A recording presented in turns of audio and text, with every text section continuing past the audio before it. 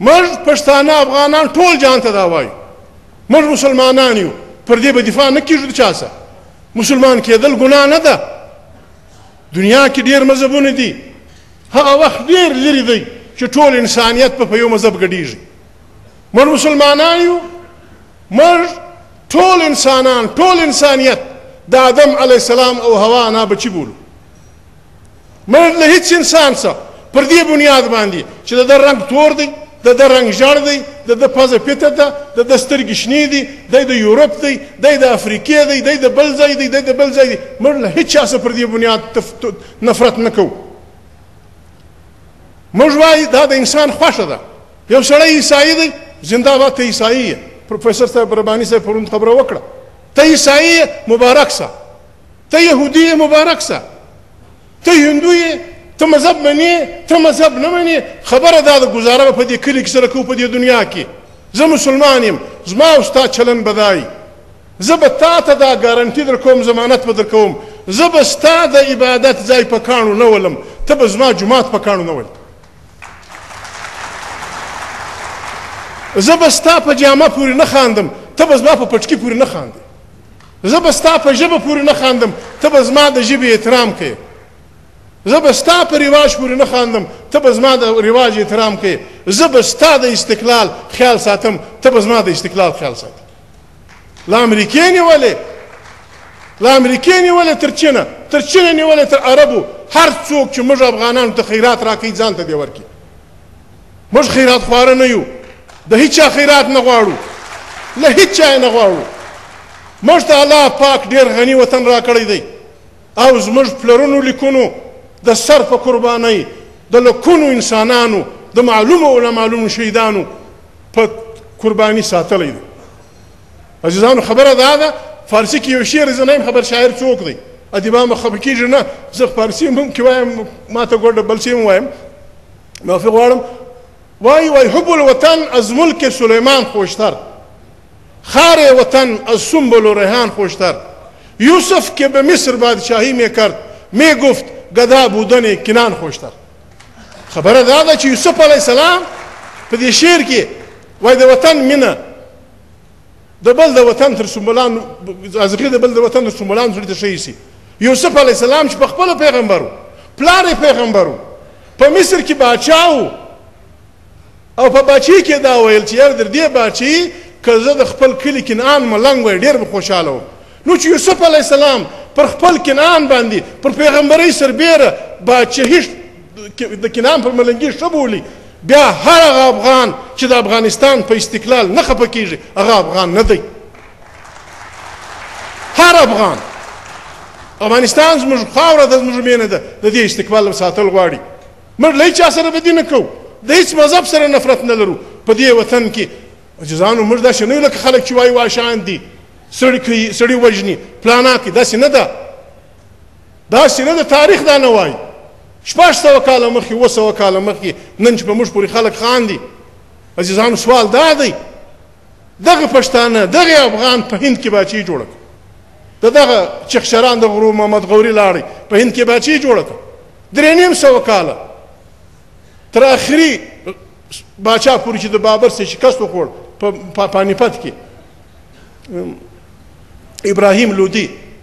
درې نیم سوه کاله دورې کښنی افغان په کروړونو عربونو هندوانو هند باندې چې باچهي کوله پر کپرس سړی دا باچهي نشي کولای دهشتګرد سړی دا باچهي نشي کولای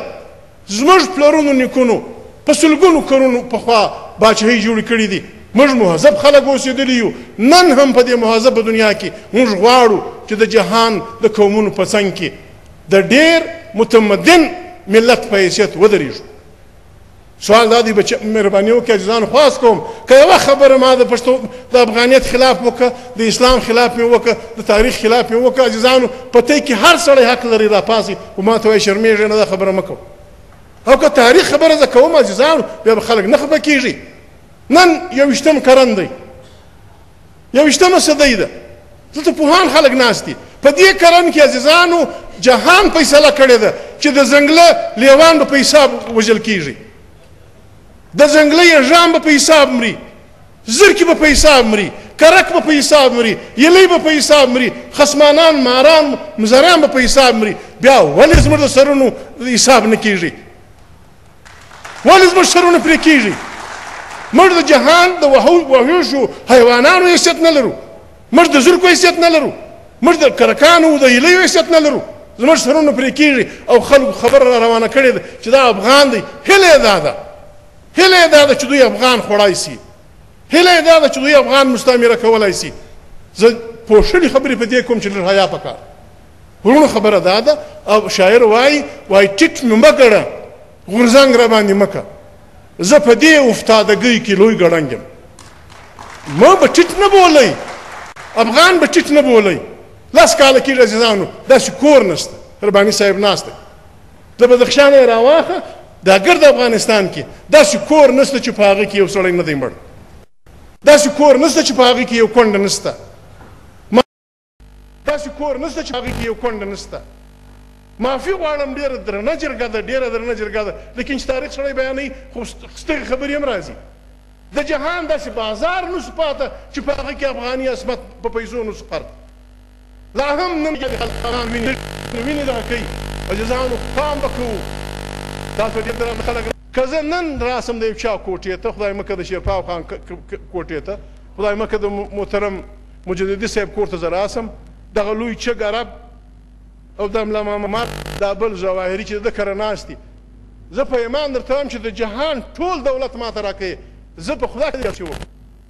اصلي نه تاریخ بس او په غیرت په دون پیسې دا کدانه سره خرڅ لیکن مجددي صاحب ته وایم چې په دا دوه ملوث دنیا کې دا وره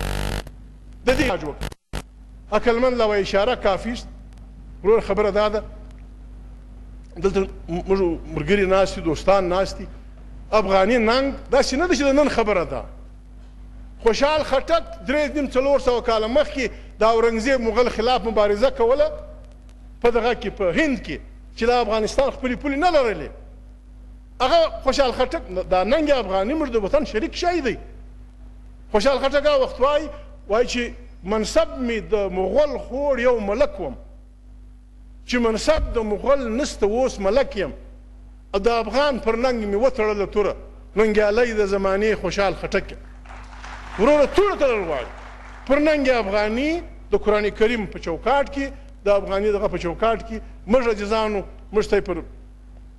حکومت پاکستان ته موږ دا وایو تاسو ته هم وایو د خیر په لار کې دغه شی ما وویل د قران شریف په دې رڼا کې په دې خیر کې موږ وړه پارټي یو پښتونخوا مليون پارټي په دې معنی زموږ سیمه معلومه او مینشل پارټي اسفندیار خان زموږ یو ګډ دلته